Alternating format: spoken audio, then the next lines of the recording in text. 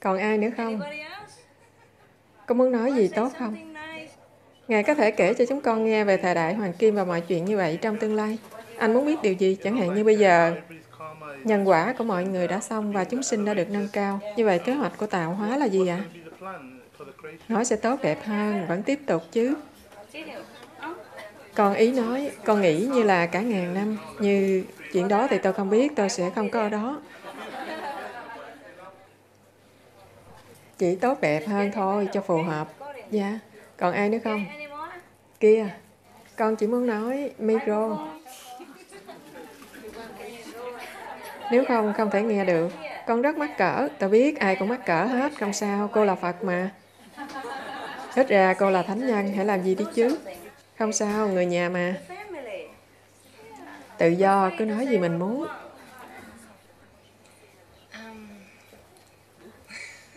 Cô muốn nói, con bị một tai nạn xe hơi. Cách đây hơn hai tháng.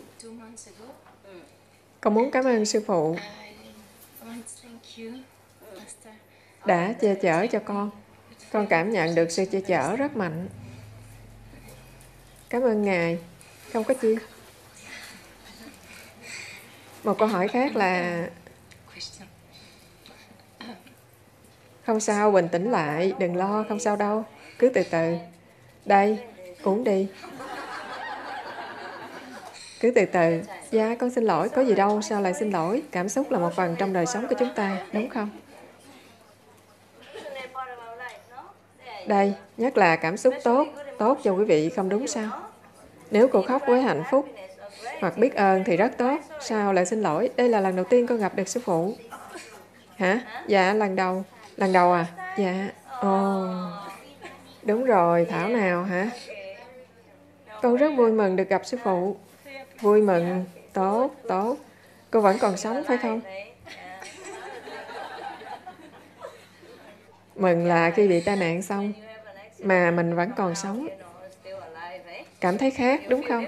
Biết nó như thế nào? Đã trải qua ha? Có lúc tôi cũng bị tai nạn. Tôi biết cảm giác sau đó thế nào. Thấy mình không có vấn đề gì. Con làm việc chung với một người bạn rất thân. Và điều lạ là cô ấy cũng bị tai nạn tương tự. Oh. Chỉ sau con hai tháng. Oh. Cô ấy cũng bị gãy chân giống vậy, hầu như là cùng ngày. Oh, trời, gần như cùng giờ. Chúng con lúc nào cũng đi chung với nhau, làm việc chung, là đồng nghiệp với nhau. Con muốn hỏi tại sao chúng con? Lại có nhiều chuyện không may giống nhau vậy? Nhiều khi như cô ta trở thành con, con trở thành cô ta, nó giống quá. Quá nhiều liên hệ. Dạ. Làm sao chúng con có thể cắt bớt một chút, cắt bỏ đi. Dạ. Quý vị còn làm việc chung với nhau, thì nhiều khi chuyện xảy ra như vậy, bởi vì đồng thanh tương ứng. Hoặc có khi đại khái là người ta có duyên với nhau. Chẳng hạn như kiếp trước đã là chị em, anh em với nhau, hay tình nhân, người quen, bạn bè. Cho nên nếu lúc trước có liên hệ tốt với nhau, thì khi luân hồi, quý vị gần như thành một trở lại. Rồi sau đó khi có chuyện xảy ra, quý vị chia một nửa. Hoặc trước kia cô đã giúp cô ta, bây giờ cô ta giúp lại. Đại khái vậy. Cô không vui với cô ấy à? Dạ vui. Cô vui, vậy thì được rồi. Dạ, nó không can dự gì đến cô. Dạ. Cô ấy phải chịu như vậy nên không sao. Không có gì có thể xảy ra mà không có lý do. Được chứ. Đừng tự trách mình. Đừng nghĩ đó là tại vì vậy, hiểu không? Lúc trước quý vị đã từng là bạn thân, đó là lý do, hiểu chứ? Lâu lắm rồi, trong hai kiếp. À, khoảng 400 năm về trước là lần cuối cùng quý vị gặp nhau. Tại một tinh cầu khác, không phải ở đây. Có bạn thân tốt chứ? Được rồi. Bị thương một chút, có sao đâu. Vậy ha. Cảm ơn sư phụ. Không có chi. Còn ai nữa? Đằng kia. Quý vị tốt mà. Con có nên nói lớn không? Nói lớn, cứ la, cứ hét lên. Dạ, đây không phải là câu hỏi. Nhưng từ hai ngày nay, con thường nói với một sư tỷ là chúng con vô cùng biết ơn. Chị thấy vô cùng vui sướng. Sư phụ nói về ganh tị. Dĩ nhiên, tất cả chúng con đều hy vọng mình ở đẳng cấp thứ năm. Nhưng thật vui mừng là có ba người trong số chúng con. Ừ. Ý nghĩ này vừa nảy ra trong đầu con. Sao sư phụ vô cùng vĩ đại như vậy? Họ không biết. Dạ chúng con biết, nhưng tại sao? Chúng con lại may mắn đến vậy. Chúng con khờ dại, thiền dở, nhưng sao lại quá may mắn? Chỉ là đúng thời điểm, đồng thời trong giai đoạn này, tinh cầu chúng ta phải gia nhập với các tinh cầu khác. Các tinh cầu văn minh hơn trong thiên hà, cho nên ân sủng và gia trì giúp rất nhiều. Ngoài ra, tôi cũng không muốn trở lại đây nữa. Người kế. Sư phụ khỏe không ạ? À? Con xin nói tiếng Hoa. Con thọ tâm ấn vài năm về trước. Cho đến hai ba tuần lễ vừa qua. Con vẫn còn rất nhiều câu hỏi. Bây giờ thì không còn nữa, con chỉ cảm thấy hạnh phúc. Con cảm thấy chúng con có nhiều hy vọng mỗi phút mỗi giây. Con cảm thấy vui hưởng sự gia trì của sư phụ ban cho chúng con. Ngoài ra, lòng tham sân si cũng được loại trừ rất nhanh chóng. Tất cả đều nhờ lực lượng sư phụ. Bất luận thế nào, sư phụ đã nói, vào lúc tâm ấn, con đã tham dự hai kỳ tâm ấn. Con cảm thấy lúc đó nhiều thói quen tích lũy bên trong. Chẳng hạn như lòng ganh tị, rất vi tế, hoặc lối suy nghĩ hẹp hòi. Lúc đó, như một ấm nước thoát, xả hết, sư phụ đã giúp con tắm ra ngoài.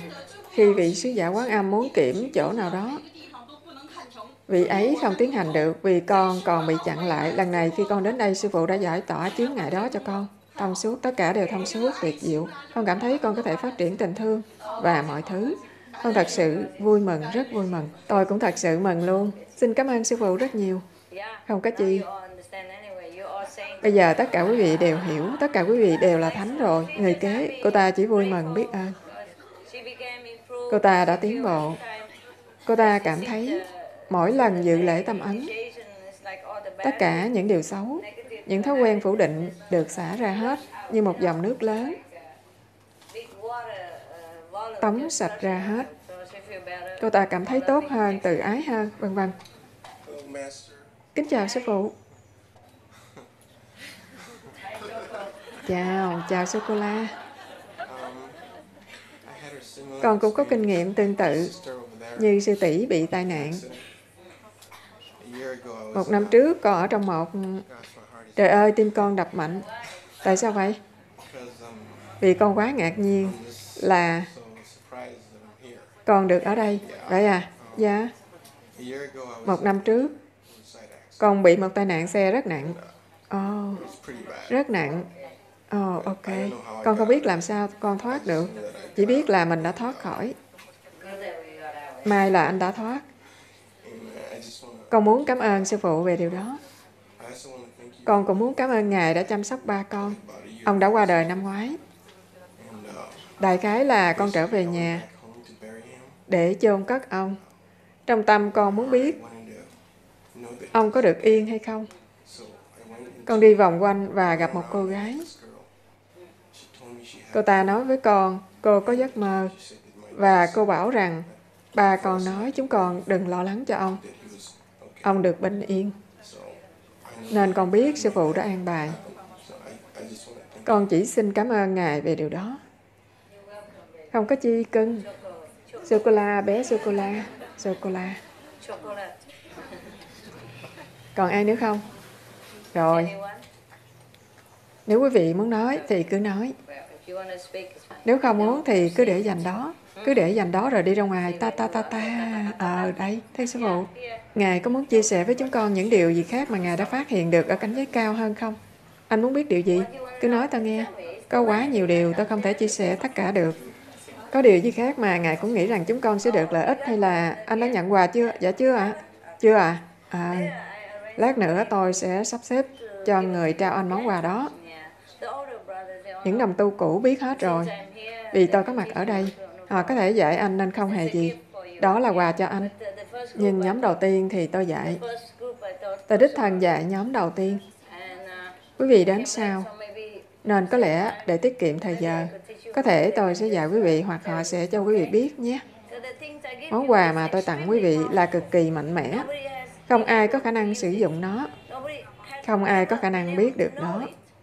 Hiểu không? Nó ở trong kho tàng của tôi và được khóa kín. Không ai có khả năng để mở nó, hoặc thậm chí biết nó ở đó. Cho nên khi quý vị mặc niệm, những gì tôi dạy quý vị cả vũ trụ đều được lợi ích. Toàn cõi vũ trụ, hiểu ý tôi không? Đó là hàng triệu triệu vô số thiên hà. Không phải chỉ có tinh cầu nhỏ bé này, cho nên nó cực kỳ mạnh mẽ. Quý vị phải giữ gìn cẩn thận, phải tin chắc, có lòng tin. Dù quý vị không có, lực lượng đó cũng sẽ hữu hiệu, nhưng phải có lòng biết ơn. Thế thôi, càng biết ơn càng nhận được nhiều. Hiểu không? Chỉ vậy thôi, ok. Càng tôn trọng thì quý vị càng khiêm nhường, điều đó tốt, thế thôi. Nhưng cũng không cần, lực lượng đó tự hoạt động. Người mới giơ tay lên xem. Mới, người mới.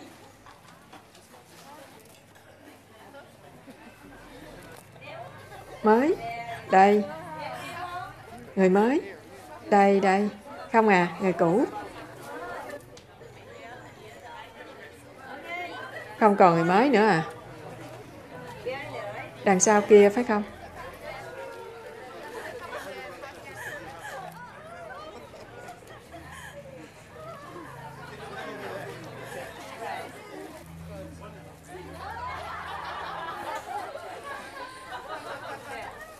Đây, vì là người mới. Quý vị có nhiều hơn, tiện thể thôi. Đây, đây. Đây.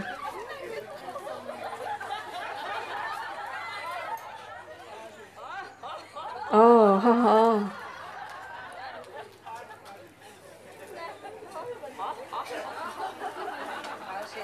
Cô ta cười như vậy đó.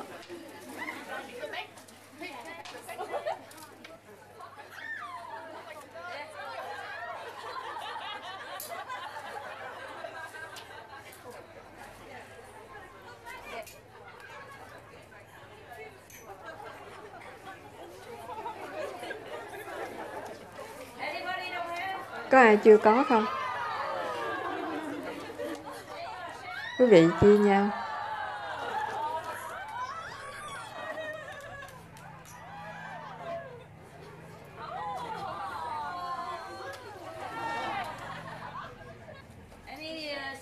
Khu nào không có? Đây, chia nhau nhé. Cứ ăn cho đến khi quý vị cảm thấy bùm bùm bùm ồn quá. Mấy người ồn ào quá. Tôi giận rồi. Thật tình giận rồi đây.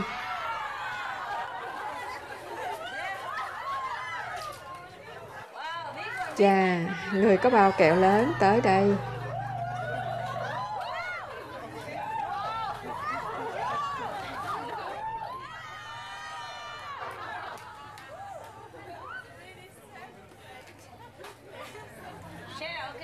Chia ra nhé. Chia nhau. Quý vị có rồi chưa? Chưa à? Chia nhau chia nhau chia nhau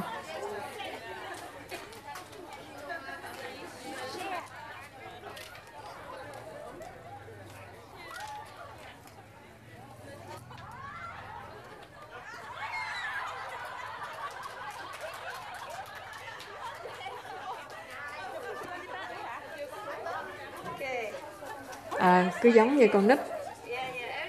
Mọi người đều có hãy niệm năm hồng danh và những danh hiệu mới rồi chia ra.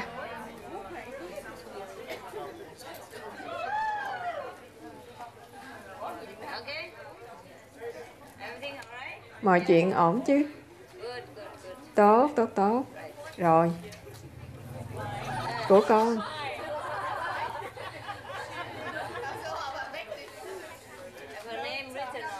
Có tên của cô ta trên đó, hội ngộ ngọt ngào, hội ngộ ngọt ngào đúng. Ồ, không có gì ngoài ngọt. Rồi, quý vị ổn chứ? Dạ. Muốn gì khác nữa không? Muốn gì khác nữa? Nóng hả? Dạ nóng. Chà. Hôm nay tôi xõa tóc. Tóc tôi ướt, biết không? Nhưng lại muốn ra gặp quý vị. Tôi không chịu nổi đứng miết ở đó hàng giờ để sấy xì xì xì. Máy sấy tóc du lịch quá nhỏ. Người nào đó mua nó nhỏ như vậy. Sấy lâu lắm mới khô. Cho nên tôi chỉ đi ra y nguyên ướt. Thưa sư phụ, chúng con mới tìm được cái này. Có ai đó? Dĩ nhiên nó là của mọi người, tất cả đều có như nhau. Có ai mất gì? Tốt, quý vị được rồi. Tốt hả? Sư tỷ đó đi về nhà rồi à? Dạ không, có thấy còn ở đây. Đâu rồi? Dạ đây, tôi không thấy cô ấy. À, cô ấy là người giúp làm tóc cho tôi hôm nay.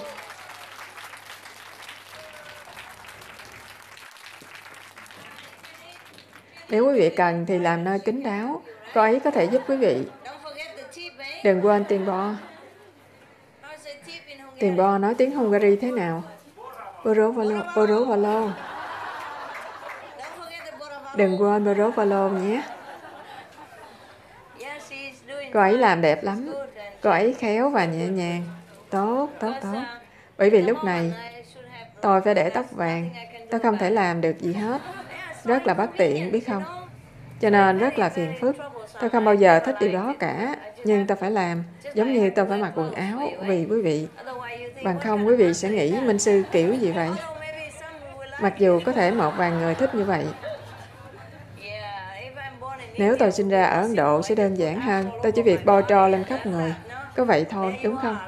Đây, thích hay không tôi sẵn sàng rồi. Có người cũng chẳng màng bo trò lên thân thể nữa. Quá phiền, quá nóng. Thân thể này là cái gì vậy mà làm phiền chúng ta quá nhiều? Phải cho nó quá nhiều thức ăn và thức uống rồi còn tóc, móng tay.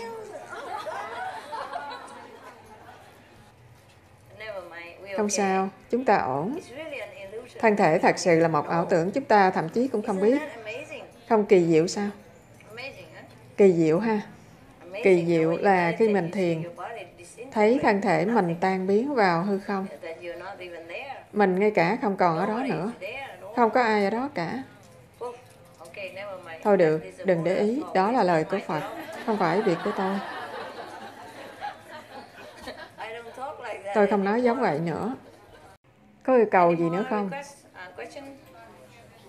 Câu hỏi nào không? Không à. Tốt, tôi không biết quý vị muốn biết cái gì. Cứ nói cụ thể điều gì đó. Tình thương, tình thương giữa nam nữ, giữa thiện đế, giữa... Dạ không, con nói đến khía cạnh cao hơn của của tình thương. Năng lượng mà sư phụ đã nói đến, thí dụ vậy, sư phụ có thể cho chúng con biết thêm về năng lượng này. Trên đó à, dạ phải, thí dụ bảo vật mà tôi mang đến cho quý vị. Nó không phải là ngôn ngữ, không phải là lời mà tôi nói quý vị.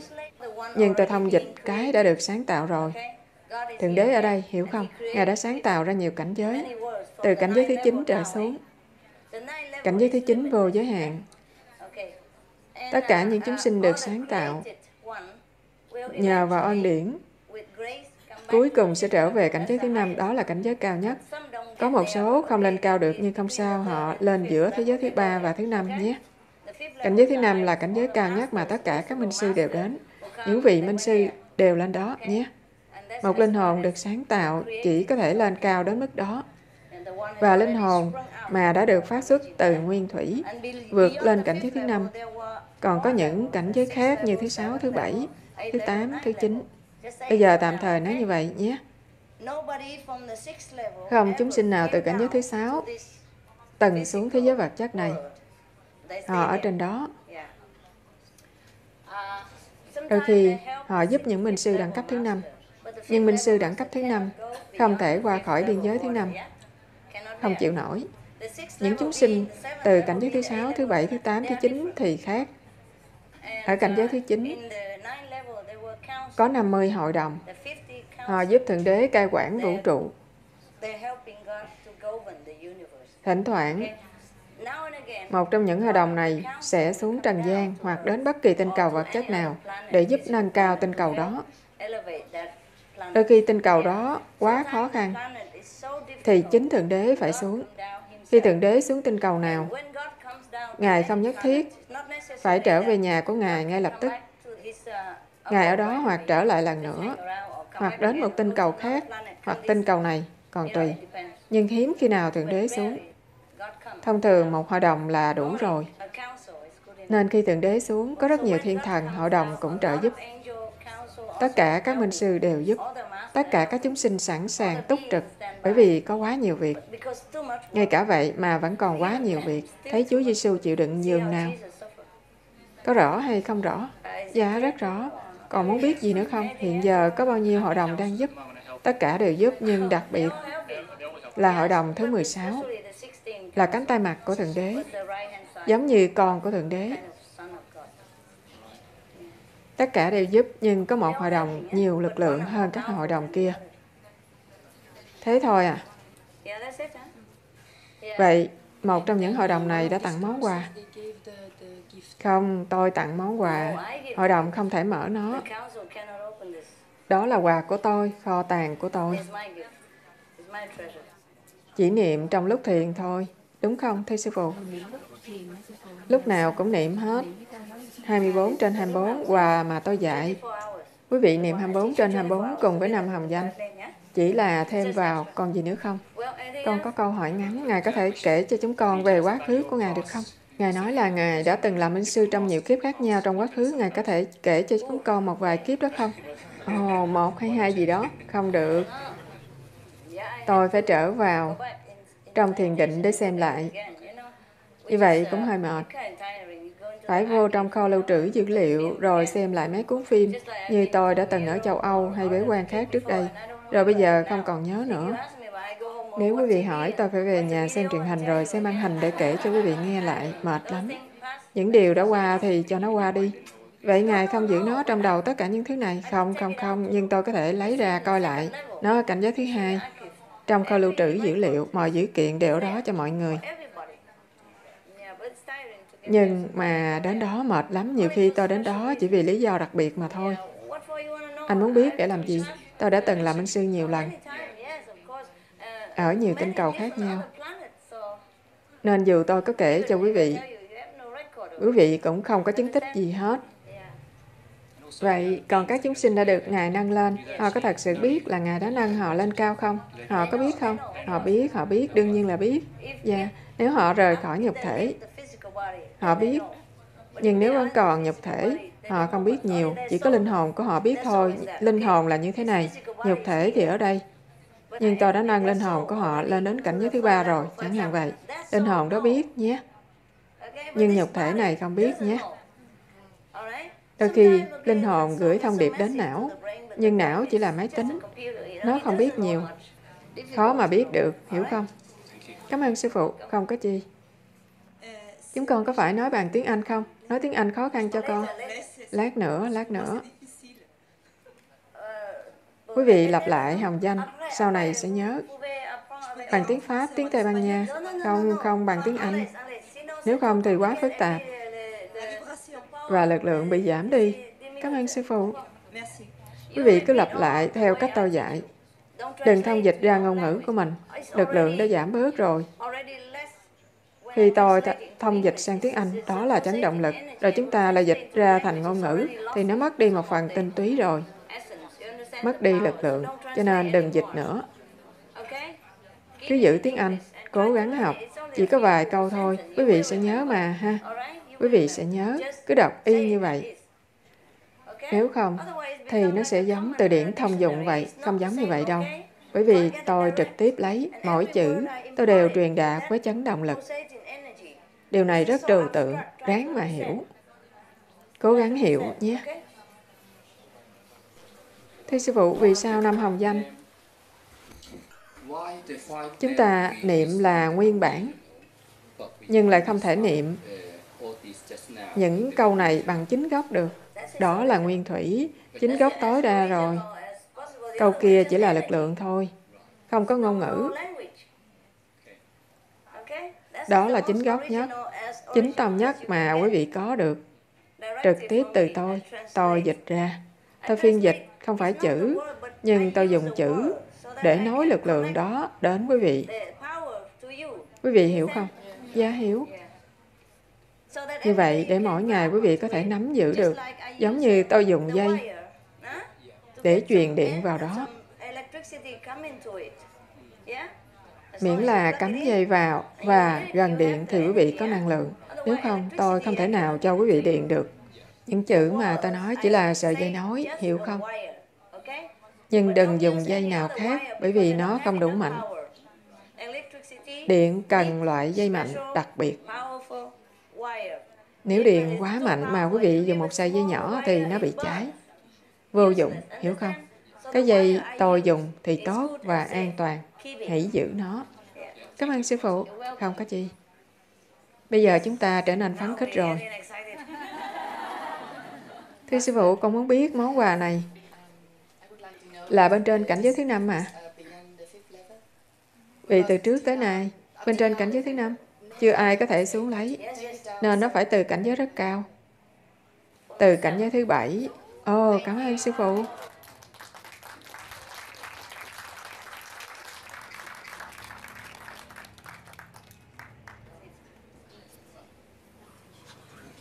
Thưa sư phụ, cuộc hành trình đến kho tàng này có được suôn sẻ hay là sư phụ ngẫu nhiên tìm ra? Cuộc hành trình đến kho tàng này có suôn sẻ không? Sư phụ biết là Ngài đang đến đó. Hay sư phụ ngẫu nhiên tìm thấy? Tôi nghĩ đó là nhân tiện. Hả? Không, tôi tình cờ thấy nó nằm trên đường. Vậy cảm ơn sư phụ, cảm ơn Ngài đặc biệt đi vì chúng con và mang về. Lúc đó tôi nghĩ, ồ, có lẽ mình dùng được. Tôi cầm lên và nói, cũng không tệ lắm. Mình mang về nhà cho đám trẻ.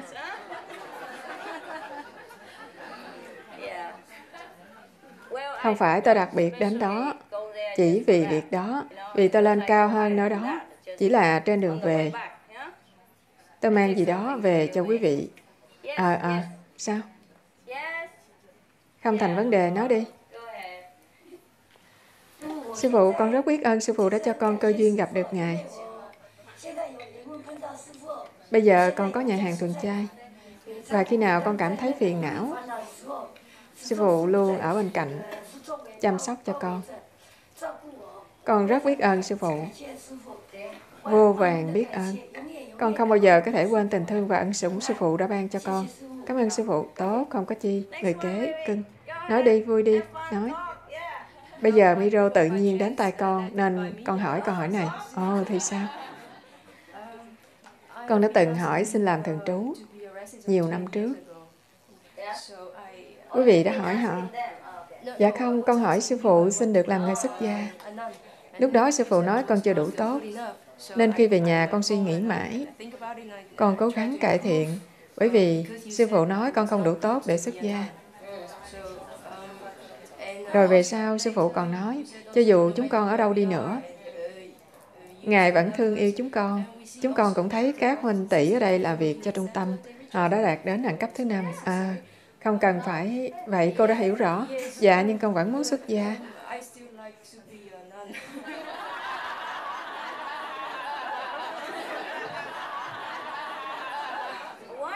Sao cô còn muốn xuất gia để làm gì? Dù sao... Không, không, không phải ai cũng có thể xuất gia. Đó không phải là số mệnh của cô. Đừng ép mình quá, cô sẽ bị rắc rối. Nói quý vị hay, trước đây tôi nhận tất cả mọi người. Tôi nghĩ họ có thể thay đổi số mệnh qua việc tu hành, nhưng không phải lúc nào cũng đúng. Vì họ không chịu nỗ lực tu hành. Khi thành thường trú, họ có thể nghĩ, xong rồi, mình tốt, mình hay rồi, họ không nỗ lực tu hành và nhân quả của họ không thay đổi. Chỉ vài tháng, vài năm sau, có bóng hồng nào thấp thoáng qua. Thế là xong. Họ cuốn theo chiều gió. Giống vậy, nếu quý vị ép mình quá, lại càng tệ hơn. Giả sử cái gì cũng có cái giá của nó. Bây giờ quý vị vô danh, không có vấn đề gì.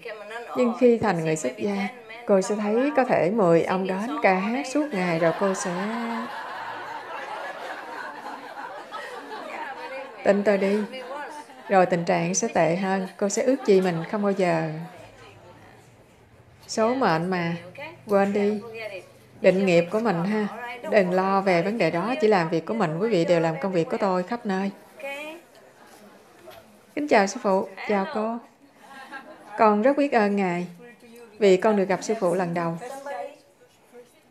Đây là lần đầu tiên con gặp Ngài. Lần đầu tiên gặp tôi à? Chà, tôi cũng vậy, lần đầu tiên gặp cô. Con rất biết ơn sư phụ. Thêm nữa, Ngài đã giúp con rất nhiều để con được đến đây. Con rất sung sướng. Từ lúc đầu tiên con gặp Ngài, con rất biết ơn sư phụ. Tôi rất vui lòng. Cảm ơn Ngài gấp đôi vì con nghĩ sư phụ đã giúp con rất nhiều để con được đến đây. Chỉ vậy thôi ạ. À. Được rồi, cái gì đó? Trong trường hợp sư phụ muốn cho người nào? Trong trường hợp đây, cho vị xuất gia tương lai. Có thể kiếp sau nghe kinh. Nhiều người đã từng là nhà sư trong kiếp trước, và kiếp này họ trở lại, nói cho quý vị nghe, tôi đã gặp một người đã từng là thầy tu hay ni cô nữa.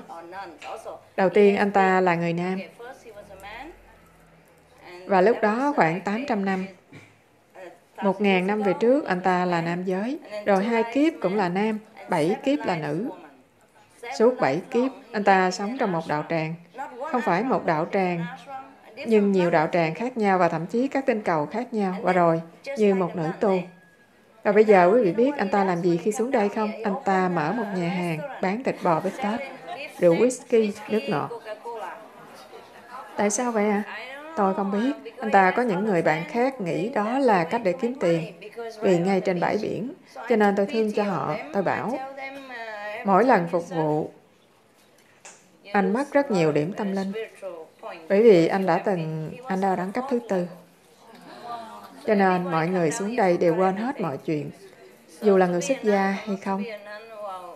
Hãy giữ cho mình được trong sạch. Như vậy là tốt nhất. Dạ. Yeah. Bởi vì tôi biết họ trước đây, cho nên tôi cố gắng bảo họ đừng làm nữa. Bằng không, tôi không màng đến việc dạy bảo ai. Mẹ anh đã thọ tâm ấn, nhưng anh ta không bao giờ biết tôi là ai. Anh ta có nghe, chỉ nghe thôi. Có lẽ sẽ cố gắng thay đổi ngày mai, không biết được. Cả hai đều lắng nghe. Rất khó nếu quý vị... Thôi không sao. Cái gì? Nói đi. Kính chào sư phụ, chào cô. Con chỉ muốn cảm ơn Ngài đã ban ngân điển cho con được đến đây. Bởi vì con đến được là một phép lạ. Con không biết sự việc đã được sắp xếp như thế nào. Bao nhiêu thiên thần đã giúp đỡ, bao nhiêu lực lượng sư phụ đã mất vì con. Ba, cảm ơn sư phụ rất nhiều. Đừng lo, tôi có nhiều lắm. Tôi có nhiều thiên thần. Cái này tôi không thích lắm. Có thể tôi thích cái này. Không có chi. Đây. Kính chào sư phụ. Ờ, chào cô, xin lỗi, chờ nhé. Sao? Con muốn cảm ơn sư phụ rất nhiều vì con có cơ hội gặp Ngài nhiều lần sau khi được thọ tâm ấn. Vì thế con cảm ơn sư phụ rất nhiều. Lần này nhắc con nhớ lại giấc mơ. Con có trước khi thọ tâm ấn đã lâu, lâu lắm trước khi con thọ tâm ấn. Ngay cả trước khi con nghe nói về sư phụ. Con muốn hiểu giấc mơ này.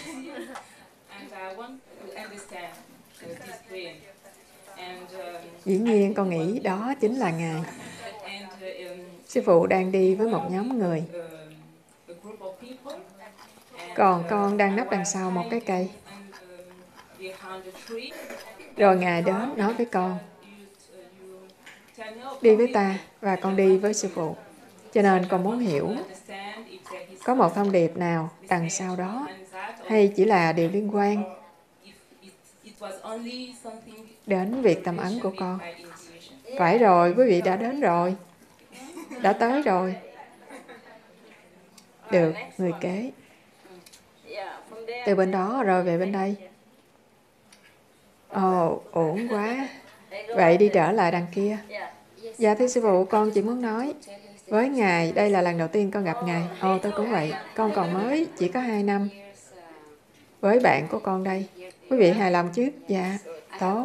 Con hầu như không nói nên lời vì được ở đây là vinh dự đối với con. Nhưng với tất cả những món quà này, chúng con thọ tâm ấn chung với nhau.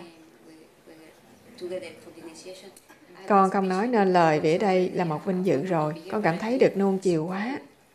Với tất cả những gì Ngài đã ban. Vậy thì sao?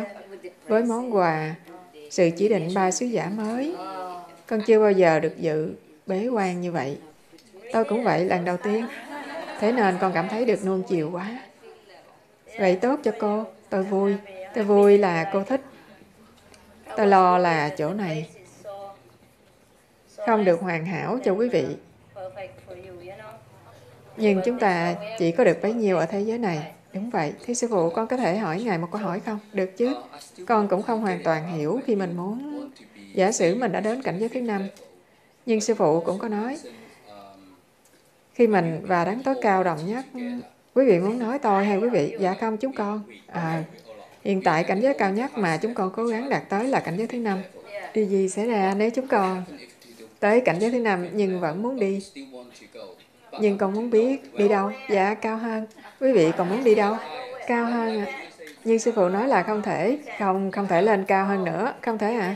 Không, quý vị thuộc về cảnh giới thứ năm.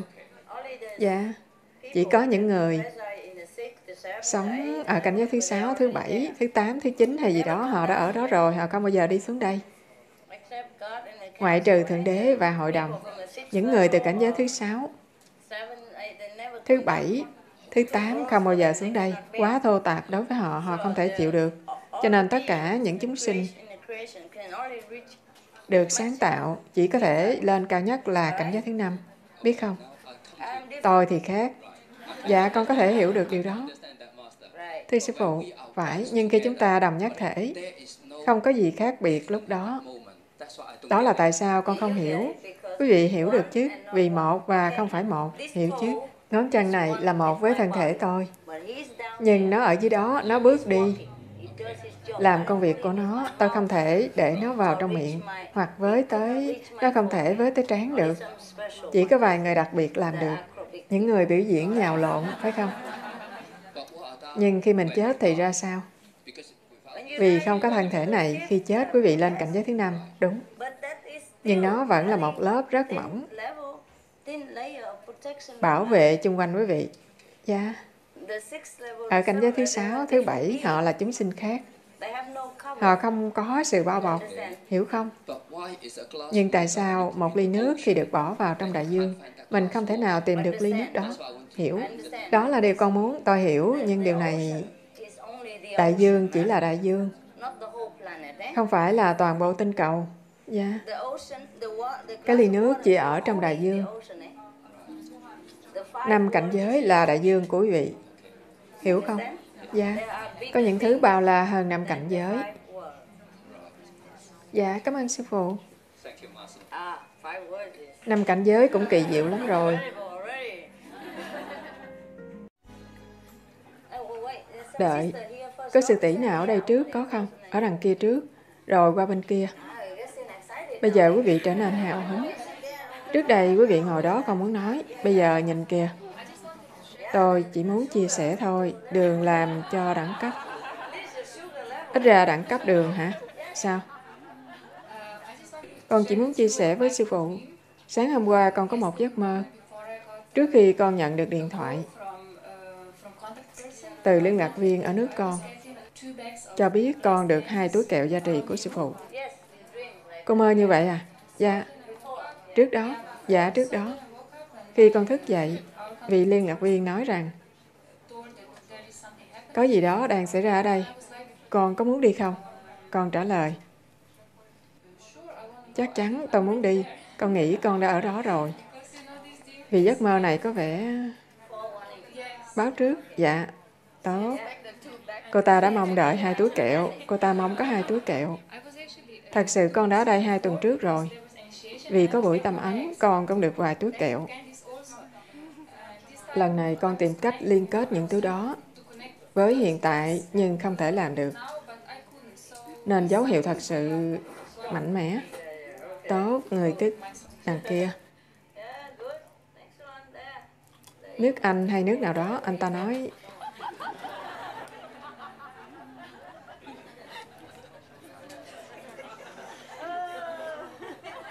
Kính chào sư phụ, xin cảm ơn ngài.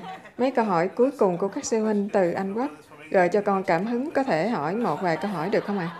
Sư huynh này, hỏi về bản chất của Thượng Đế. Sư huynh... Được, sư huynh Ấn Độ kia. Họ làm cho anh có khẩu vị à? Dạ. Tiếp tục vào món chính. Sư phụ nói về những đẳng cấp khác nhau của chúng sinh cho đến cảnh giới thứ năm và có đẳng cấp thứ sáu, thứ bảy, thứ tám, thứ chín, tất cả đây. Họ là những chúng sinh khác. Con xin trở lại một chút để kể cho sư phụ thể nghiệm của con có khá lâu trước đây con bị thất nghiệp và thật sự cầu nguyện rất nhiều để có việc làm. Thượng đế ném cho con như là một hạt cát, nó chẳng là gì đó với Ngài. Ngài nói, con chỉ muốn bấy nhiêu đó thôi sao? Con nghĩ ý Thượng đế là gì? Chỉ muốn bấy nhiêu đó, sau đó con hiểu rằng mục đích của con là trở thành người ném hạt cát chứ không phải là hạt cát. Sau đó mọi thứ dường như rõ ràng. Mục đích của mình là đạt được cảnh giới thứ năm. Đó có thể là số mệnh của chúng con. Những chúng sinh trên địa cầu, những người thuộc về cảnh giới thứ năm, được tạo ra ở cảnh giới thứ năm. Con thắc mắc, số mệnh của anh là ở cảnh giới thứ năm. Con không biết điều đó. Có phải anh nói như vậy không? Dạ không, con nghĩ đó là mục đích của mình phải đạt được. Sau đó sẽ được sung sướng. Con nghĩ có thể đó là một bước. Bây giờ sư phụ nói là chúng con có khía cạnh khác nhau của Thượng Đế. Mà những chúng sinh cảnh giới thứ năm không có khái niệm hoặc thể nghiệm gì cả. Có thể nào chúng con thể nghiệm được những khía cạnh khác? À, cha, thật ngạc nhiên. Sự thật là không có, cha. Xin lỗi. Dạ không, con không màng. Con rất vui sướng nếu chỉ lên tới cảnh giới thứ năm. Con không phàn nàn. Nếu anh tới được đó, Bây giờ con sẽ cố gắng nhiều hơn. Dĩ nhiên là cho tới bây giờ, quý vị không biết gì về nơi đó. Bởi vì không có người nào đã vượt qua cảnh giới thứ năm. Trước đây, tôi cũng không thể nói cho quý vị điều này được. Quý vị nghe gì chứ? Ý tôi là quý vị biết gì về điều đó. Dạ. Bây giờ quý vị đã đủ trưởng thành, tôi có thể nói cho quý vị nghe. Giống như Hoàng Cung. Quý vị thuộc về Anh Quốc, là công dân nước Anh, nhưng không phải luôn luôn được phép thấy nhà vua, nữ hoàng và những người trong hoàng tộc. Dạ, họ có dòng dõi hoàng gia, phải không? Dạ. Ngay cả họ có phong tước, cho quý vị trở thành hoàng tộc. Quý vị vào đó và rồi chỉ lên tới một cấp bậc nào đó thôi. Quý vị không vào trong cung điện. Thật tuyệt. Vào ngữ cung của nữ hoàng không được. Dạ, con hiểu điều đó. Hoặc quý vị không thể làm vua, nữ hoàng. Những người như vậy, hiểu chứ? Thậm chí không được, nhưng chúng ta có thể gặp họ hay thấy họ trong thể nghiệm không? Anh đang thấy một người đây. Ồ, dạ phải.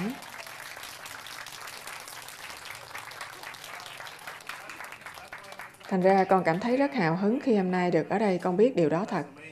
Thật tuyệt vời. Vậy hả? Dạ, thật vậy. Vũ trụ vô giới hạn. Không phải chỉ năm cảnh giới thôi. Đó chỉ là cho những chúng sinh được sáng tạo, phải những chúng sinh được sáng tạo. Đó là điểm chính yếu. Nhưng khi trở lại, chúng ta có được sáng tạo trở lại không? Hay là chúng ta chỉ hòa nhập lại thôi? Lên đến cảnh giới thứ năm, quý vị được tự do vĩnh viễn tự do, quý vị hưởng tự do và hạnh phúc vô biên. Quý vị sẽ không bao giờ nghĩ đến bất cứ điều gì trở lại hay gì cả. Nhưng như vậy có nhất thiết là điều tốt không? Bởi vì Thượng Đế đã tạo ra chúng con và tạo ra sự chia cách này để chúng con phấn đấu và thể nghiệm. Cho nên nếu chúng con trở lại đó, thỉnh thoảng khi thiền nhiều con cảm thấy bình an. Và rồi con nghĩ nên ăn gì đó hay đi dạo hoặc làm gì đó khác chỉ để có vài trải nghiệm. Cho nên nếu trở về nhà của chúng con ở cảnh giới thứ năm, nơi chúng con không bao giờ có ý nghĩ làm gì khác. Như vậy có tốt không? Ý con là con không biết. Có phải vậy? Anh có thể xuống đây trở lại. Dạ, con không muốn. Nhiều người trở lại để làm minh sư hoặc để giúp đỡ. À dạ, đúng rồi ạ. À. Nhiều tinh cầu đi khắp toàn vũ trụ. Nhưng qua công đức mình có thể đạt được. Ồ, không thể. Lúc nào chúng ta cũng được an bài trong linh hồn được tạo ra, phải không? Ồ, được tạo ra là khác. Đây là khác, hiểu không? Linh hồn được tạo ra không hẳn do Thượng Đế tạo ra, không phải là Thượng Đế toàn năng. Nhưng lúc nào cũng có như năng lượng, lúc nào cũng có năng lượng thô thiển và tinh tế hơn. Hiểu ý tôi không? Giá hiểu như dầu hỏa hay dầu xăng. Lúc nào cũng có dầu tinh chế và dầu thô.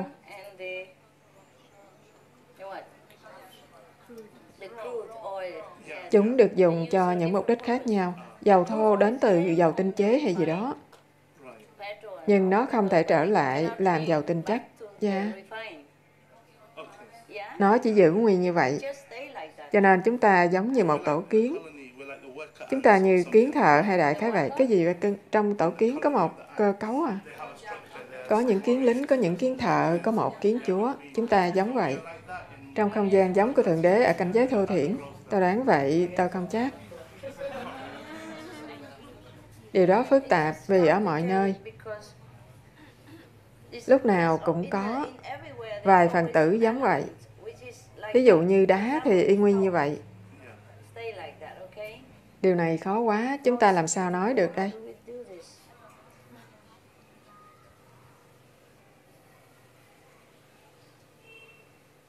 Trong vũ trụ, giống như mọi thứ khác, những gì nhẹ hơn và tinh tế hơn, lúc nào cũng ở trên.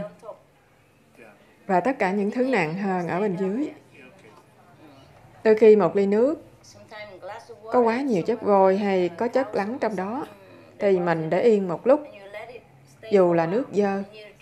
Nhưng nếu mình để nó yên, thì phần nặng nhất sẽ lắng xuống, rồi mình có thể sử dụng phần trên mặt. Tất cả mọi chúng sinh được tạo ra bị bao phủ và lẫn lộn với đủ loại chất lắng. Cho nên Thượng Đế cố gạn lọc những gì Ngài có thể, đặt nó trở lại đó để sử dụng. Hoặc để vui hưởng ở đây là nước sạch. Những gì quá thô thiển, quá dơ bẩn, quá ngầu độc thì phải để nó ở đó. Dạ. Yeah. Nhưng có nước chưa bao giờ tiếp xúc với vùng. Lúc nào nó cũng đẹp và sạch sẽ.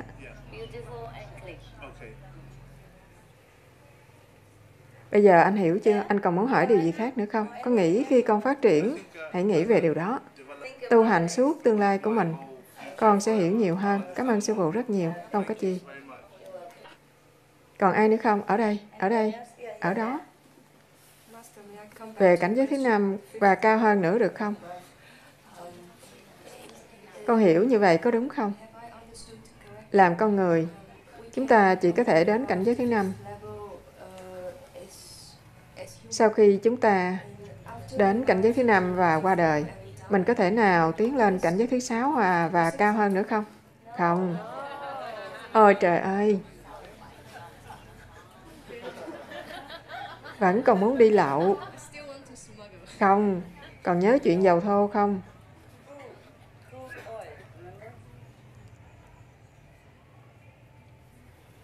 Quý vị còn chưa lên được cảnh giới thứ năm mà đã muốn lên cảnh giới thứ sáu rồi.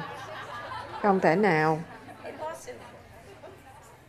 Có những quốc gia không nhận người ngoại quốc, hiểu không? Thế thôi.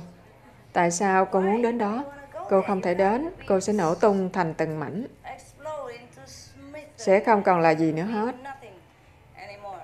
Thậm chí trước khi đến biên giới, cô đã thành tro bụi rồi. Hiểu ý tôi không? Không phải là tôi hay là cảnh giới thứ sáu không cho cô đến, nhưng cấu tạo của quý vị không thích hợp. Bản chất của quý vị không thích hợp. Để chịu nổi năng lượng mãnh liệt đó, hiểu không? Tương tự, ngay cả những người ở cảnh giới thứ sáu chẳng hạn, nếu họ xuống cảnh giới thấp hơn, dưới cảnh giới thứ năm, họ không thể chịu nổi. Họ bị ngộp thở, họ không chịu nổi. Họ chỉ là một đẳng cấp khác về năng lượng và sự vi tế. Họ có một cấu trúc khác. Tất cả các loại xe đều tốt, nhưng xe Mercedes được chế tạo khác. Xe Rolls-Royce được chế tạo cho những mục đích khác nhau hay từ những chất liệu khác nhau. Có vài loại xe tăng được chế tạo cho chiến tranh. Thậm chí có lúc lựu đạn hay gì đó, hay đạn bắn vào xe tăng đều vô dụng. Người lính được an toàn ở trong đó, còn tàu ngầm đi xuống được. Cho dù là xe Rolls-Royce hay chiếc xe đắt tiền nhất, trị giá một triệu Mỹ Kim, cũng không thể đi xuống dưới nước như tàu ngầm. Cho dù máy bay hay chiếc xe đó. đắt tiền cỡ nào cũng không thể đi xuống bên dưới những vật khác nhau dành cho những điều khác nhau, hiểu không? Nhưng đến cảnh giới thứ năm, quý vị sẽ hạnh phúc, quý vị thích điều đó. Quý vị sẽ thích. Thưa sư phụ, con chỉ nghĩ rằng Ngài vì chúng con mà xuống cảnh giới thứ năm, nên Ngài phải quan tâm đến chúng con. Dĩ nhiên tôi quan tâm, vậy cũng đủ cho con rồi. Phải, đó cũng đủ cho con. Đương nhiên tôi quan tâm đến quý vị vì quý vị quá đau khổ. Tất cả các chúng sinh, quý vị đau khổ quá nhiều. Con thường có quan niệm là khi chúng con trở về cảnh giới thứ năm, năng lượng của mình sẽ hòa nhập lại vào nguyên thể của Thượng Đế. Không phải, rồi được tái tạo trong bất cứ hình dạng nào mình thích. Hiểu. Dạ, đó là quan niệm sai lầm của con. Bây giờ con hiểu. Cũng có thể, nhưng không như thế. Quý vị vẫn giữ cá thể của mình và thưởng thức nó. Trong linh thể, đúng. Nếu không có cá thể, tạo hóa có hữu ích gì? Tình thương và lực lượng của Thượng Đế có hữu ích gì nếu mình không cảm nhận được? Chắc chắn vậy, quý vị trở thành hư không, điều đó có ích lợi gì, hiểu không? Đây là một đề tài hấp dẫn. Trên thế giới này có tài liệu nào về đề tài này không? Không, có lẽ Ngài là nguồn tài liệu duy nhất về đề tài này. Không có sách vở về điều này bất cứ nơi nào, thưa phải không? Điều đó rất đáng ngạc nhiên. Đó là đo, lần đầu tiên con... Bây giờ nó khai mở tâm trí con để bước vào cái đẹp của cuộc hành trình. Thật vậy. Những điều đó bất khả tư nghị. Điều này vượt qua bất cứ gì quý vị có thể hiểu hay tưởng tượng được. Điều đó quá tuyệt diệu. Cảnh giới thứ năm là tốt lắm rồi. Trời ơi! Đối với sư phụ, Ngài có thể chọn bất cứ góc nào đó của tạo hóa. Dĩ nhiên rồi, nhưng tạo hóa này có phải lúc nào cũng hiện hữu? Con muốn nói là có phải con hiểu rằng tạo hóa được tạo ra một thời gian lâu rồi. Đó là giữa tam giới. Thế giới Atula và những thế giới khác. Nhưng cảnh giới cao hơn hiện hữu vĩnh viễn. Vĩnh viễn, cưng à. Cha, thần kỳ. Thần kỳ ha. Vĩnh viễn, đó là một thời gian dài. Vĩnh viễn, không bao giờ bị hủy diệt. Chúng con sẽ gặp lại Ngài không? Có thể gặp Ngài nữa không? Để làm gì? Khi chúng con lên đó, quý vị được tự do rồi, con biết, nhưng chỉ để nói với Ngài về những chuyện của vài cảnh giới. Tôi không nghĩ nếu lần này xong với thế giới này, tôi nghĩ là tôi không có thời giờ để xuống trở lại gặp quý vị. Dạ không, con không muốn trở lại. Trên cảnh giới thứ năm thì có thể, ồ, phải phải, không.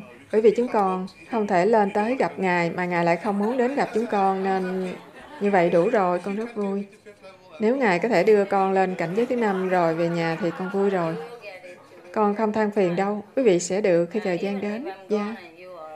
Dù cho tôi đi rồi và quý vị chỉ ở cảnh giới thứ ba, thứ tư, quý vị sẽ đi lên vì quý vị là đệ tử của tôi. Con sẽ hết sức cố gắng, thậm chí không cần gắng sức, quý vị cũng sẽ đến đó. Cảm ơn sư phụ lần nữa vì quý vị là đệ tử của tôi. Yeah, tuyệt diệu. Khi đạt đến cảnh giới thứ năm, ước muốn của vị không giống như những gì quý vị có hiện giờ. Và con nghĩ nó sẽ không giống. Dù không gặp tôi nhưng quý vị cũng sẽ có cảm giác đồng nhất thể với Thượng Đế. Quý vị sẽ cảm thấy vui vẻ, mãn nguyện. Dạ đúng đúng, đó là tất cả con cần. Quý vị sẽ không ao ước được thấy bất cứ gì hình dáng vật chất nào của Thượng Đế. Dạ đúng vậy, con không ký nói hình thể phàm thân của Sư Phụ. Con muốn nói hình thể năng lượng, hiểu, hiểu quý vị sẽ không mong muốn nó. Cha, tốt quá. Ngoài ra, khi gặp vị vua của quốc độ, vị giáo chủ của cảnh giới thứ năm, quý vị sẽ nghĩ rằng vị ấy là Thượng Đế rồi. Thậm chí quý vị cũng không nghĩ rằng có một vị Thượng Đế nào cao hơn nữa. Và hôm nay đó là điều, đó là sự tin tưởng của con. Dạ. Hay quá. Nhiều người đến cảnh giới thứ ba có thể thật sự diện kiến Phạm Thiên.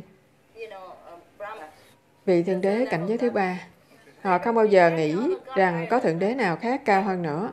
Và con hiểu điều đó ở đẳng cấp đầu óc, nên họ đã về tới nhà. Ờ, à, anh đã gặp chưa? Dạ không, trên mức độ của đầu óc con hiểu, cho nên những người thuyết pháp về Thượng Đế tuyệt đối này, đó là cảnh giới thứ ba. Không phải họ nói dối với quý vị, mà họ thật sự tin như vậy. Tưởng tượng xem, quý vị lên tới cảnh giới thứ năm, lúc quý vị gặp được giáo chủ của cảnh giới thứ năm, quý vị sẽ không còn ao ước bất cứ gì khác. da tuyệt quá, phải. Nhưng vì quý vị biết tôi, nên quý vị sẽ nhớ rằng có một chúng sinh cao hơn. Bằng không, những chúng sinh khác, nếu họ không biết tôi, thì họ chỉ mãn nguyện với vị giáo chủ. Trời ơi, họ tôn thờ Ngài. Ngài vô cùng huy hoàng, sáng ngời, rực rỡ, nhân từ, thương yêu, nhân ái, từ bi, đẹp đẽ, nguy nga. Đến nỗi thậm chí quý vị không thể nghĩ đến bất cứ gì khác nữa. Ngài sẽ khiến quý vị như mất hồn, mất trí và mọi ước muốn của quý vị đều tan biến. Nhiều người đến cảnh giới thứ ba có thể thật sự diện kiến Phạm Thiên vị Thượng Đế cảnh giới thứ ba. Họ không bao giờ nghĩ rằng có Thượng Đế nào khác cao hơn nữa. Dạ, con hiểu điều đó ở đẳng cấp đầu óc. Nên họ đã về tới nhà. Ờ, à, anh đã gặp chưa? Dạ không, trên mức độ của đầu óc con hiểu, cho nên nhiều người thuyết pháp về Thượng Đế tuyệt đối này. Đó là cảnh giới thứ ba. Không phải họ nói dối với Thượng Đế mà họ thật sự tin như vậy. Tưởng tượng xem, quý vị lên tới cảnh giới thứ năm lúc quý vị gặp được vị giáo chủ của cảnh giới thứ năm. Quý vị sẽ không còn ao ước bất cứ gì khác. Dạ tuyệt quá. Phải, nhưng vì quý vị biết tôi, nên quý vị sẽ nhớ rằng có một chúng sinh cao hơn.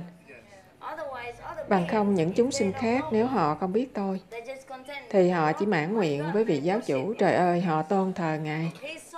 Ngài vô cùng huy hoàng, sáng ngời, rực rỡ, nhân từ, thương yêu, nhân ái, từ bi, đẹp đẽ, nguy nga. Đến nỗi thậm chí, quý vị không thể nghĩ đến bất cứ gì khác nữa. Ngài sẽ khiến quý vị như mất hồn, mất trí và mọi ước muốn của quý vị đều tan biến. Ngài còn vĩ đại hơn cái triệu, triệu lần. Cả triệu gì? Ngài vĩ đại hơn cái triệu lần. Tại sao?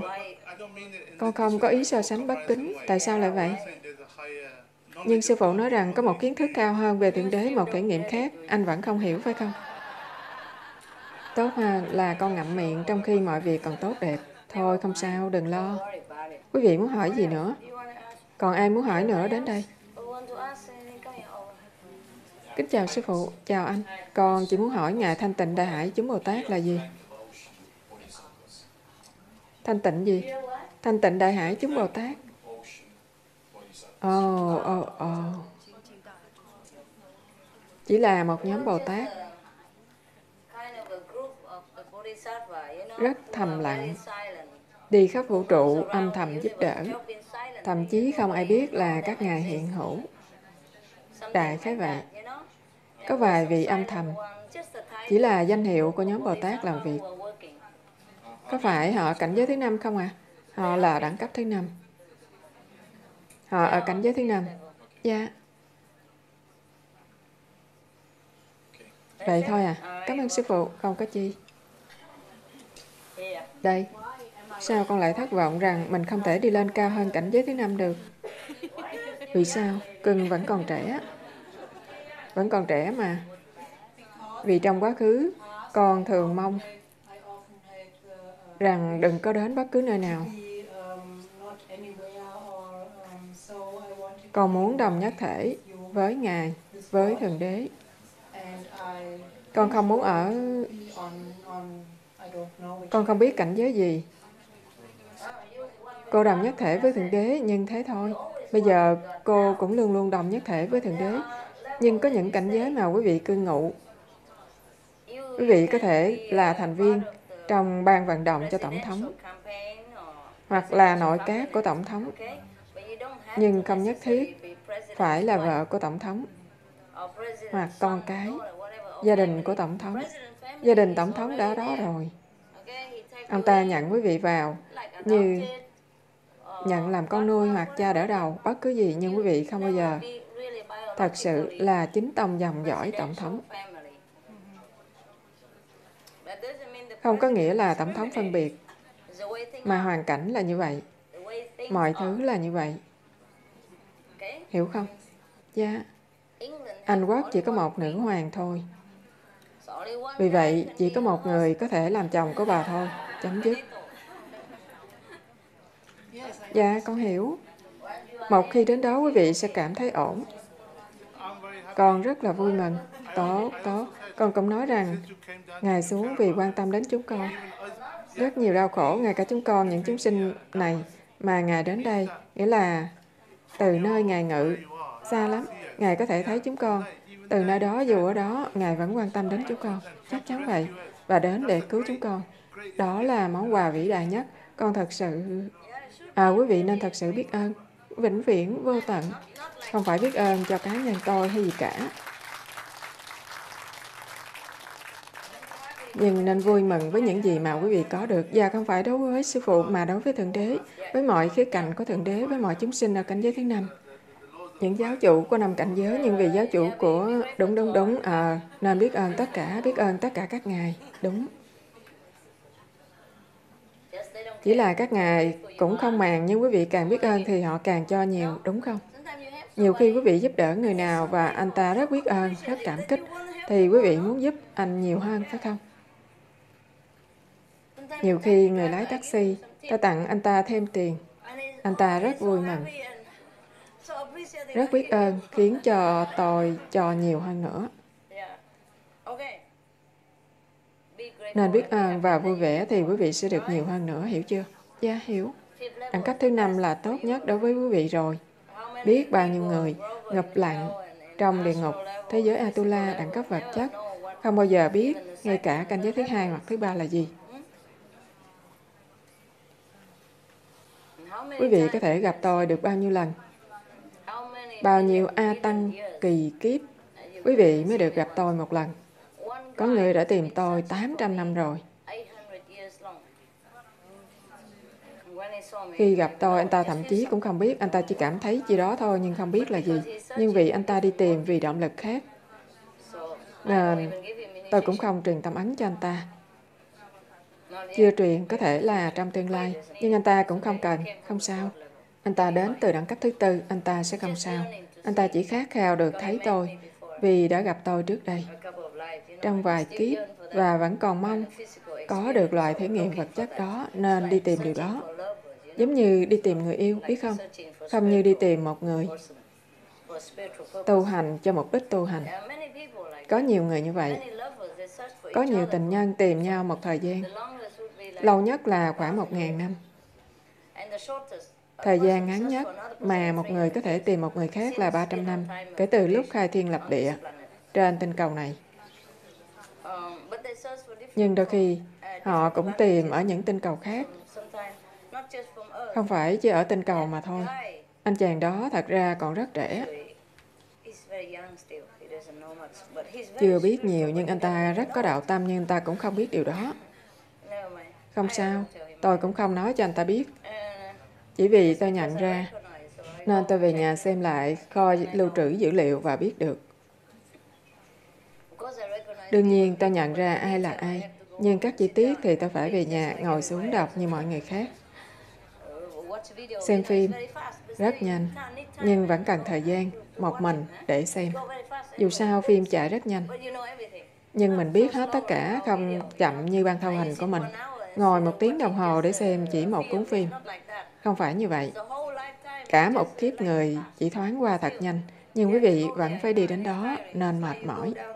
Giống như khi xuống biển phải mang mặt nạ, bình dưỡng khí và các dụng cụ nặng nề để xuống đó, vì chúng ta không thuộc về nơi đó, đúng không?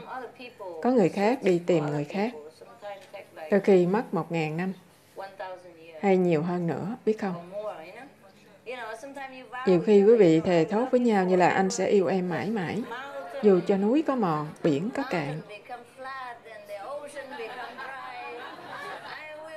Anh sẽ mãi mãi yêu em. Chúng ta sẽ trở lại sống bên nhau đời đời kiếp kiếp. Điều đó thành sự thật, biết không? Nhưng vấn đề là quý vị không biết cách ở chung với nhau. Ý tôi nói đa số không phải riêng quý vị. Nhưng người ta không biết làm sao. Nếu thật sự thương yêu người đó, họ phải tu hành. Cùng đẳng cấp sẽ đến cùng một nơi, bằng không thì không được. Lý do anh chàng đó không thể gặp tôi là vì đẳng cấp quá thấp. Anh ta thậm chí đã là đệ tử của tôi, nhưng không chú ý tu hành, chỉ để tâm vì tôi xinh đẹp. Anh ta thích tôi như thích một người nữ, và lúc đó, thời điểm đó. Nên dù trở lại, anh ta cứ tìm điều đó. 800 năm dài. Đầu tiên, anh ta không tìm được. Nên linh hồn anh phải trải qua một cuộc hành hương dài như là tu khổ hạnh để lên đến đẳng cấp thứ tư sau đó anh mới có thể thấy tôi ở đâu đầu thai nơi nào. Bằng không nếu thấp hơn thế anh ta không thể thấy được. Đó là tại sao anh ta tìm 800 năm vẫn không thấy. Lần này anh ta ở đẳng cấp thứ tư nên có thể thấy à được rồi mình đi xuống. Nhưng anh ta phải trả giá rất cao. Anh ta xuống rồi quên hết tất cả, thậm chí còn bán thịt, bán rượu. Tôi bảo anh thay đổi. Anh ta nói họ sẽ tính lại. Vì anh ta có người hồng vốn, có bạn gái, có cha mẹ, bất cứ gì. Mọi người đều ủng hộ kiểu này. Còn tôi thì không. Dù sao đi nữa, tôi không là ai cả. Cho nên, dù yêu nhau rất nhiều, hoặc quý vị yêu ai hết lòng, nhưng nếu không cùng đẳng cấp thì sẽ không bao giờ tìm thấy nhau. Đó là tại sao? Có những người tìm nhau hàng ngàn năm bởi vì họ không cùng đẳng cấp. Người quá cao, người quá thấp. Nên khi quý vị đến đó, cô ta đã đi lên hoặc đi nơi khác rồi. Nên nếu quý vị thật sự yêu thương người bạn đời của mình, hãy cùng nhau tu hành. Thật sự nắm tay cùng đi lên trên kia. Nếu không, quý vị sẽ không bao giờ gặp được người đó. Dù có tìm kiếm bao lâu đi nữa. Là vậy đó. Hầu hết mọi người không biết yêu. Nếu biết yêu, phải cùng nhau tu hành. Có những người cho rằng tôi chia cách gia đình, bảo họ xa vợ họ. Không đúng. Nếu cùng tu hành, họ có thể luôn luôn ở cùng với nhau. Nếu không tu hành, thì mọi người luôn luôn có cơ hội chia cách. Luôn luôn đi hai hướng khác nhau. Đôi khi còn đi những tinh cầu khác. Cách xa hàng triệu năm ánh sáng. Làm sao tìm được nhau?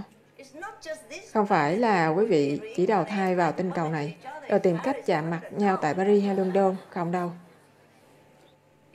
Như là người đàn ông đó đã tìm tôi 800 năm ta kể rồi. Anh ta đã đi nhiều tinh cầu khác nhau. Anh ta chưa bao giờ có cơ hội thậm chí ra đời trên cùng một tinh cầu với tôi. Và anh ta hết sức tìm kiếm tôi để có thể đầu thai vào đó. Nhưng không được. Thứ nhất, anh ta không thể tìm tôi vì tôi quá cao đối với anh ta. Thứ nhì, vì không có duyên đi xuống những chỗ khác nhau. Quý vị muốn đầu thai ở đây thì phải có duyên với người nào đó để họ nhận quý vị làm con để quý vị có thể xuống đầu thai. Nếu người gọi là cha mẹ quý vị không có mặt ở đó, quý vị không đến được. Cho nên tất cả phải cùng nhau. Cha mẹ, thân bằng quyến thuộc, bạn bè, người yêu, tất cả cùng một chỗ. Rồi quý vị mới có thể gặp nhau. Nhưng rồi quý vị vẫn không nhớ, vậy có ích gì? Cho nên một số người rất may mắn nếu họ cùng tu hành tốt đẹp trong tiền kiếp. Kiếp này họ sẽ gặp lại bởi vì họ cùng đẳng cấp, cùng tu hành và có liên hệ gia đình rất tốt đẹp. Như vậy, quý vị có thể nói họ đã từng ở bên nhau và cùng tu một pháp môn hay làm cùng một chuyện, rồi có cùng một đẳng cấp. Và nếu quý vị hay cãi cọ thì biết rằng đó là kẻ thù đầu thai. Thế đó, hầu hết là kẻ thù. Người Trung Hoa nói, oan gia ngõ hẹp. Có nghĩa là con đường của kẻ thù rất hẹp. Có nghĩa là quý vị luôn luôn chạm trán nhau, đó là vậy. Vấn đề là khi gặp kẻ thù, quý vị cảm thấy lực hút rất mạnh đến nỗi không thể kéo ra được. Ngay từ giây phút đầu tiên, đó là cái mà người ta gọi là tiếng sét ái tình. Ngay lập tức, nhiều quý vị bị hút vào từ trường của lẫn nhau và rồi không thể thoát ra. Ngay lần đầu, đại khái vậy. Nhưng đôi khi người yêu thật sự từ tiền kiếp cũng trở lại thì quý vị cũng cảm thấy thu hút ngay lập tức. Và may mắn cho quý vị nếu điều này xảy ra như thế. Không luôn luôn xảy ra như vậy. Rất hiếm khi như thế. Đa số trường hợp đều là kẻ thù. Tin tôi đi. Quý vị có kinh nghiệm à? Dạ, đúng. Đó là vì quý vị phải cùng trở lại để yêu thương nhau. Phải cố gắng yêu thương nhau. Cho nên nếu quý vị có liên hệ xấu hãy cố gắng yêu thương người kia. Chỉ tình thương mới xóa bỏ hận thù. Nhưng không sao, quý vị đã tâm ấn. Dù cho không xóa được khi vãng sanh quý vị chia cách hoặc cùng nhau trở thành bạn. Khi quý vị rời thân thể này sẽ thành bạn, không sao. Nhưng ngược lại, nếu quý vị không thọ tâm ấn và lần này đối xử tệ với nhau, sẽ trở lại tệ hơn nữa. Bởi vì hận thù chưa xóa bỏ. Rồi quý vị sống chung với nhau càng tạo thêm rắc rối, nên kiếp sau trở lại phải trả gấp đôi. Thì mối quan hệ càng kinh khủng hơn. Ồ, oh, Cái gì vậy? Tất cả quý vị đều biết à? Dạ, tội nghiệp, hãy cố gắng chịu đựng. Tôi không làm được gì nhiều cho quý vị, trừ việc truyền tâm ấn để quý vị suôn sẻ một chút, để khỏi phải chết mỗi ngày. Như là gần như vậy, biết không? Có ai cần thuốc không? Sao một số quý vị yên lặng quá vậy? Tôi có làm ai buồn không? Tôi chạm với thương lòng quý vị à? Vết thương quý báu. Cứ nói. Thưa sư phụ, con muốn hỏi. Thật ra, con vẫn còn như là một điệp viên. Không ai trong gia đình con biết về sư phụ trong đời con. Hiểu, cha mẹ, anh em, bạn bè thân đều không biết. Lúc đầu con biết mình còn yếu. Con không tiết lộ chuyện này ra vì con không thể tự bảo vệ mình khỏi ảnh hưởng của họ. Con chỉ thắc mắc, có lúc nào mà con có thể cho họ biết và đủ an toàn là sẽ không bị kéo ra khỏi đường đạo. Cứ nói với họ, bởi vì không một ai, quý vị đủ lớn chưa? Quý vị đủ tuổi chưa? Ý Ngài, con không sống chung với gia đình. Dạ không. Vậy thì phiền não ở đâu? Quý vị có thể nói cho họ biết, con có thể nói cho họ biết. Dạ, dạ. Dĩ nhiên, cho họ biết coi chuyện gì xảy ra. Cùng lắm là quý vị phải sống xa họ, điều đó quý vị đã làm rồi. Dạ. Quý vị không làm ai đau lòng, nói với họ một cách lịch sự. Nói con nghe rằng pháp môn này, nếu con tu thiền, con sẽ tặng mọi người và năm đời rất nhiều công đức. Đó là lý do con làm vậy. Dạ, họ sẽ không tin con, nhưng dù sao, ờ, à, nói có thể ở nhà không tin con. Nhưng đó là động lực của con, con muốn đền ơn mọi người. Và không biết làm cách nào. Dù con có cho tiền cũng không bao nhiêu. Dù con có làm việc suốt đời cho mọi người cũng không bao nhiêu. Con lo là sau khi chết, cha mẹ, ông bà sẽ đi đâu? Bởi vì con nghe nói thiên đàng và địa ngục hiện hữu, con muốn cả nhà đi lên thiên đàng. Pháp môn này giúp con cầu nguyện mạnh mẽ mỗi ngày cho chúng ta. Cho mọi người và cho con. Dạ, nói với họ một cách lịch sự. Chỉ là đôi khi con cảm thấy điều đó rắc rối từ cuộc sống bí mật của mình. Nó khiến con tranh đấu, hiểu, áp lực ha. Và phải, con phải giấu nhiều thứ. Cho họ biết, cho họ biết. Dạ, nói với họ quý vị không đòi hỏi gì.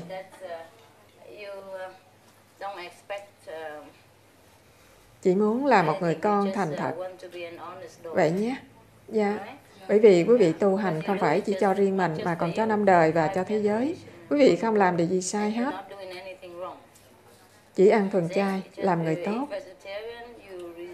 giữ năm giới luật và thiền. Như vậy có gì sai đâu. Quý vị không hại ai hết, phải không? Dạ. Nên dù họ có nói gì đi nữa cũng không thể đúng, không thể xấu. Có thể họ sẽ vui mừng. Ai biết được. Thử xem, con cũng làm vậy với bạn bè hay sao? Phải, nói à, đừng giấu giếm nói thẳng với họ. Có thể họ sẽ theo quý vị. Họ sẽ tò mò. Hãy tử tế và có tình thương. Lời nói ngọt bao giờ cũng hữu hiệu. Điều tệ nhất là họ sẽ tức giận một thời gian. Hãy chịu đựng. Dạ. Yeah. Sau một thời gian họ sẽ dịu xuống và nói a à, thật ra con bé nói đúng. Nó đâu có làm điều gì sai. Nó có thể tệ hơn vậy nữa. Nó ra ngoài hút ma túy, hay hút thuốc, uống rượu. Và cái gì kế tiếp? Hiểu ý ta không? Dạ hiểu. Cô là con gái tốt nhất mà họ có thể ao ước có. Tôi không biết tại sao cô phải giấu giếm. Con chỉ sợ gia đình sẽ hiểu, hiểu. Nhưng cô sống một mình mà, đừng lo. Dạ. Họ mới phải lo có thể mất con gái. Họ đã lo sợ. Nên tới giờ quý vị chỉ cần nói với họ, cho đến giờ con đã tu hành nhiều năm rồi và không có chuyện gì xảy ra nên cha mẹ thấy con vẫn ổn, vẫn bình thường. Phải không? Dạ, hãy chứng minh. Đúng vậy. Nhưng tôi rất tiếc về hoàn cảnh của cô. Cô có nhiều áp lực, tôi biết. Làm điệp viên không tốt đâu. Tôi biết cảm giác thế nào. Thưa sư phụ, lúc mới nãy, nhiều sư huynh sư tỷ thắc mắc về câu hỏi đẳng cấp thứ năm.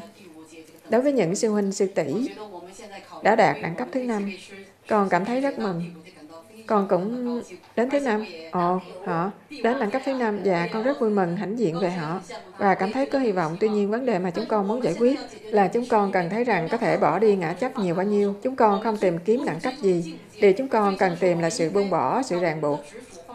Những sư huynh sư tỷ này, lý do họ có thể đạt đến đẳng cấp thứ năm là vì họ vô vị kỷ và phụng sự vô điều kiện. Đó là tại sao họ có thể đạt được đẳng cấp thứ năm. Đúng đúng, nếu có tâm ganh tị, còn tham tiền, tham về mọi phương diện và không thể buông bỏ thì không cần nói về đẳng cấp thứ năm.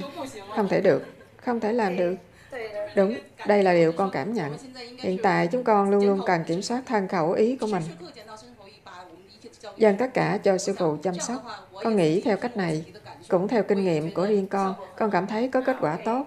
Được rồi, cảm ơn cô. Quý vị còn muốn gì nữa không? Tại sao không chịu ngưng? Quý vị còn muốn biết gì nữa? Con muốn nói con cảm thấy rất hối hận đã làm phiền sư phụ. Ồ, tôi không có vấn đề gì. Và con thật sự tri ân có được sư phụ trong đời con. Tôi không bao giờ cảm thấy phiền. Cưng ơi, tôi chỉ nói sự thật. Tôi rất khách quan, không vấn đề gì, đừng lo lắng. Tôi thương cô. Con rất thương sư phụ. Ngài là người tốt nhất. Điều này đã xảy ra trong cuộc đời con. Chà, thật sao? Ngôn ngữ con người rất rắc rối. Nhưng càng biết ơn, quý vị càng nhận được thêm nhé. Trời ơi, làm sao có thể tạo thứ gì từ thứ khác được, biết không? Ly nhựa là ly nhựa, phải không? Thành thủy tinh để làm gì? Thủy tinh cũng tốt, nhựa cũng tốt, có mục đích khác nhau. Phi cơ cũng tốt, xe hơi cũng tốt. Xe hơi muốn thành phi cơ để làm gì? Làm sao được? Để làm gì? Con cốc nhỏ muốn thành con ngựa. Tại sao? Nhưng tại sao? Làm cốc cũng tốt, phải không? Dạ không, nhưng mình có thể mơ thành ngựa được chứ ạ? À? Để làm gì? Dĩ nhiên quý vị có thể mơ ước, nhưng quý vị thậm chí cũng không biết con ngựa là gì. Quý vị phải làm ngựa mới biết con ngựa cảm giác ra sao. Hiểu ý tôi chứ? Quý vị chỉ có thể tưởng tượng mọi chuyện. Tại sao làm mệt mình như vậy? Tại sao? Hãy tận hưởng chính mình. Tận hưởng những gì mình có. Quý vị như vậy rất đẹp. Quý vị là gì cũng rất đẹp. Tôi đã bảo rồi, tại sao lại muốn làm nữ hoàng Anh Quốc? Quá nhiều trách nhiệm. Chỉ làm hoàng gia là tốt rồi. Làm hầu tước cũng tốt rồi. Tại sao muốn làm nữ hoàng nước Anh? Hay phu quân của bà hay bất cứ gì?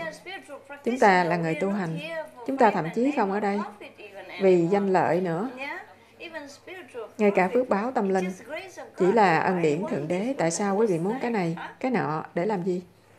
Ngay cả một con người như vậy, quý vị được lên đẳng cấp thứ ba, thỉnh thoảng được kẹo cũng tốt rồi. Đừng nói chi đẳng cấp thứ năm, tại sao phải bận tâm? Cứ buông bỏ hết nhé. Dù quý vị là gì, quý vị đều đẹp. Quý vị tốt, giỏi. Học cách sống vui vẻ bằng không, quý vị sẽ không bao giờ vui. Ngay cả hiện tại, quý vị cũng không vui. Giả sử quý vị là Thượng Đế, cũng sẽ là một Thượng Đế đầu rỉ. Nói quý vị biết. Và rất nhiều công việc, quý vị nghĩ làm Thượng Đế thì vui. Quý vị thật sự không biết gì. Tốt, nhưng Thượng Đế hiện diện chỉ để chăm sóc tất cả, tất cả những sáng tạo của Ngài. Một gánh nặng lớn, một người. Có gì ở đó? Địa vị càng cao, thì trách nhiệm càng nặng. Không chỉ nhìn phía vinh quang, hãy nhìn phía kia nữa. Nếu có đặc quyền, quý vị phải có trách nhiệm. Càng nhiều đặc quyền thì càng nhiều trách nhiệm. Nhưng tại sao chúng ta lại bàn về Thượng Đế? Dù sao quý vị cũng đâu biết đó là gì. Hãy mãn nguyện với chính mình.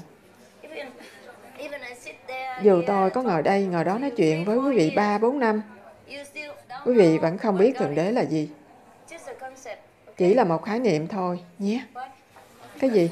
Con nghĩ đó là lý do chúng ta có mặt tại đây để tìm ra. Để tìm ra Thượng Đế là gì à? Quý vị nằm mơ. Cũng tốt hơn là không có gì cả. Tốt hơn là mơ chuyện thường nhật. Tôi biết, nhưng quý vị không. Quý vị không bao giờ biết được Thượng Đế là gì, không bao giờ biết. Trừ khi Ngài giáng trần vào một thân thể vật chất. Và rồi quý vị nghĩ, ồ, đó là người nữ hay người nam? Thánh nhân hay minh sư? Thế thôi, quý vị chỉ biết vậy thôi, không bao giờ tưởng tượng nổi điều gì khác. Dù là cảnh giới thứ năm, ôi Chúa tôi, là một cõi vô cùng rộng lớn quý vị không thể tưởng tượng nổi. Và cả vũ trụ quá nhiều tinh cầu khác nhau, cảnh giới khác nhau. Quý vị không thể chỉ nói cảnh giới thứ năm, đó chỉ là con số đúng không? Ồ Chúa tôi, hãy nhìn địa cầu này, thậm chí chưa phải cảnh giới, nhưng đã lớn biết bao rồi. Hãy xem mặt trăng, mặt trời và thiên hà của chúng ta đây. Đã vô cùng vĩ đại rồi, hãy nhìn giải ngân hà. Vĩ đại biết bao mà quý vị thậm chí cũng không biết một tinh tú trên đó. Một tinh tú trên bầu trời quý vị còn không biết. Nhưng hôm nay con cảm thấy thật sự khiêm nhường. Vậy à, con cảm thấy... Tại sao? Vì anh luôn luôn cho rằng mình là Phật, phải không? Bây giờ con biết con không phải. Anh muốn làm Thượng Đế để làm gì? Dạ không, con không muốn. Mọi người tưởng tượng Thượng Đế, hầu hết họ tưởng về vị Thiên Đế của cảnh giới Atula, Thiên Đế của cảnh giới thứ hai hoặc Thiên Đế của cảnh giới thứ ba. Đừng nói đến thứ tư hay thứ năm. Dạ, nhưng dĩ nhiên những vị này cũng là Thượng Đế. Dạ, họ là một phần vĩ đại của Thượng Đế. Dạ, một phần. Nhưng đấng toàn năng thì khác. Thế thôi, hiểu không? Đấng nguyên thủy nhất. Hôm nay con cảm thấy rất vui, con cảm thấy một cuộc hành trình tuyệt diệu đang chờ con. Thật à? Dạ. Đó là một hành trình vô tận, đúng không ạ? À? Cái gì? Một hành trình vô tận. Hành trình, ồ, đó là sự biết tất cả, đúng không ạ? À? Chắc chắn, thậm chí ở thứ năm, vẫn còn quá nhiều đến nỗi quý vị sẽ nghĩ quý vị không bao giờ biết đủ. Chà, thật sự kỳ diệu, cho nên như vậy đã quá nhiều rồi cho loài người quý vị. Dạ không, đó là một sự tuyệt diệu và kinh ngạc. Lúc còn bé, chúng ta nhìn vũ trụ và nghĩ, ồ, nhìn xem thật là kỳ diệu. Hôm nay con thoáng thấy được điều này từ bài giảng của Ngài. Nên đó là lý do con rất kích động và cảm thấy rất khiêm nhường. Thật sự hôm nay, những sư huynh sư tỷ tại đây làm việc rất cực.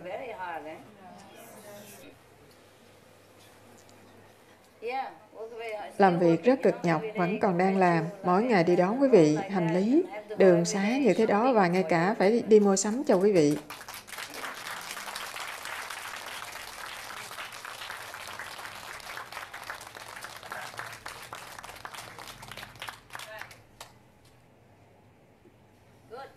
Tốt. Gần nửa đêm rồi hả? Quý vị muốn đi ngủ chưa? Dạ chưa. Vẫn muốn nói chuyện à? Dạ không, dạ không. Con chỉ muốn nói. Chúng con rất vui mừng. Được làm thứ dầu thô và về nhà, đi ngủ. Không hề gì. Quý vị là gì cũng tốt. Quý vị là gì cũng đều tốt. Tất cả đều cho cái gì đó. Ngay cả đá cũng hữu dụng. Đất cũng hữu dụng. Cỏ cũng hữu dụng.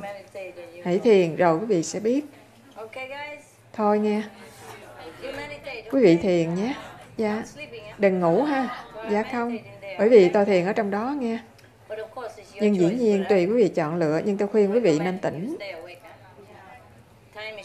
Thời gian ngắn ngủi, quý vị không ở đây lâu, quý vị không gặp tôi thường, cứ ráng thức.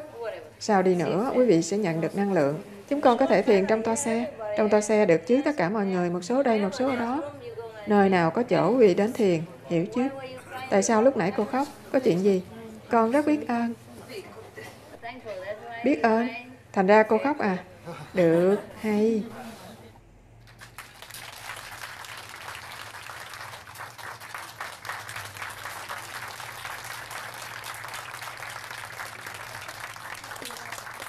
Tôi ngồi lâu quá, ngồi lâu quá, chân tôi giờ không biết tôi đẳng cấp nào nữa.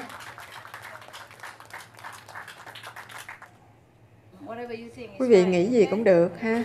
Quý vị nghĩ bất cứ điều gì cũng không sao, chỉ thiền thôi. Ít ra quý vị biết tôi sẽ đưa quý vị lên cảnh giới thứ năm, chắc chắn. Nếu không phải bây giờ thì từ từ. Ý tôi nói tối thiểu tôi có khả năng đưa quý vị đến đó.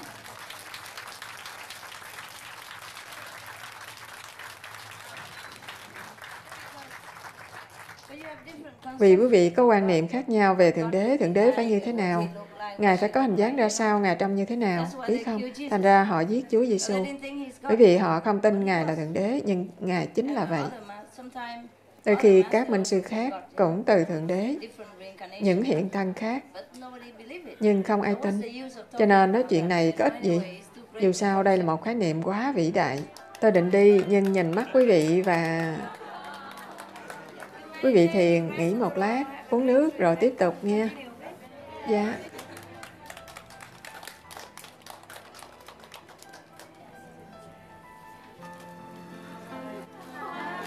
Kính chào sư phụ.